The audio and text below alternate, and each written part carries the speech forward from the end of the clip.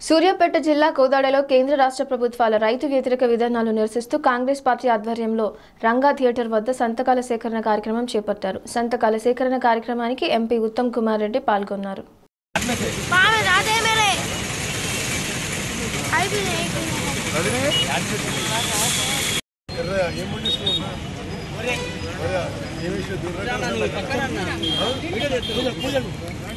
మంచి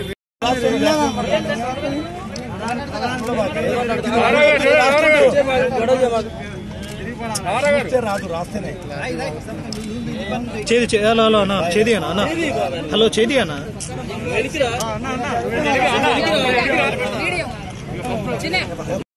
రైతు వ్యతిరేక చట్టాలని రద్దు చేయాలని చెప్పేసి ఈ రోజున రాష్ట్ర వ్యాప్తంగా కాంగ్రెస్ పార్టీ సంతకాల సేకరణ తీసుకోవడం జరుగుతుంది. అందులో భాగంగా ఈ రోజున కోదాడ పట్టణ కాంగ్రెస్ పార్టీ తరఫున ఈ యొక్క కార్యక్రమం చేపట్టడం జరిగింది. మరి సోదరులు ముఖ్యంగా చెప్పేది ఏంటంటే కేంద్ర ప్రభుత్వం అయితే తీసుకొచ్చిన మూడు చట్టాలు కూడా రైతులు పూర్తిగా దివాళా తీసే పరిస్థితిలో ఉన్నాయి ఈ రోజున.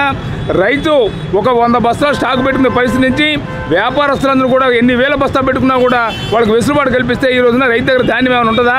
అట్లాగే బీమా కానివ్వండి కేంద్ర ప్రభుత్వం ఇరవై మూడు పంటలకు మద్దతు ధర పెట్టింది ఏ ఒక్క పంట కూడా ఇంతవరకు మద్దతు ధర ఇవ్వడం లేదు ఈ రోజున. మరి కేసీఆర్ గారు కూడా గత సంవత్సరం మరి రైతు వేదిక మీటింగ్ పెట్టి వచ్చే సంవత్సరం నుంచి ఇరవై ఐదు లక్షల టన్నుల మరి డిఏపి కానీ యూరియా కానీ దుక్కుమంది కానీ ఇస్తున్న కేసీఆర్ మరి ఆ మాట మర్చిపోయాడు ఈ రోజున. సన్న బియ్యం సన్న ఒడ్లు కొన్ని పరిస్థితి లేదు ఈ రోజున. రాష్ట్రంలో ఇప్పటికే పేపర్లు ఇచ్చిన దానికి ప్రభుత్వం ప్రకటించిన దానికి ఎక్కడ కూడా సంఘబంధాలు ధాన్యం కొనడం లేదు. రైతు వ్యతిరేక చట్టాలు రైతు వ్యతిరేక విధానాలు అవలంబిస్తున్నారు ఈ క్రమంలో తెలంగాణ రాష్ట్ర వ్యాప్తంగా సంతకాల సేకరణ ఉద్యమం కాంగ్రెస్ పార్టీ చేపట్టింది. దాని భాగంగా ఈరోజు నేను కోదాడ రావడం జరిగింది. నరేంద్ర మోదీ గారి బీజేపీ ప్రభుత్వం పార్లమెంట్లో అప్రజాస్వామికంగా ఆమోదింపజేయించుకున్న రైతు వ్యతిరేక చట్టాలను వ్యతిరేకిస్తూ ఆ చట్టాల వల్ల రైతులకు నష్టం జరుగుతుంది. మద్దతు ధర ఎంఎస్పి సిస్టమ్ని కొలాప్స్ చేసేటందుకు తీసేసేందుకు ఇది నరేంద్ర మోదీ బీజేపీ ప్రభుత్వం చేస్తున్న కుట్ర అని చెప్పి ఈ చట్టాలను వ్యతిరేకిస్తున్నారు. ఇది కేవలం కార్పొరేట్ సంస్థలకు అదానీలకు అంబాల అంబానీలకు మేలు చేయడానికి ఈ కొత్త చట్టాలు తీసుకొచ్చిండ్రు. ఇవి వ్యతిరేకిస్తూ భారత రాష్ట్రపతిని సోనియా గాంధీ గారు పద్నాలుగు నవంబర్లో కలిసి ఈ సంతకాలు మరి హ్యాండ్ ఓవర్ చేయనున్నారు.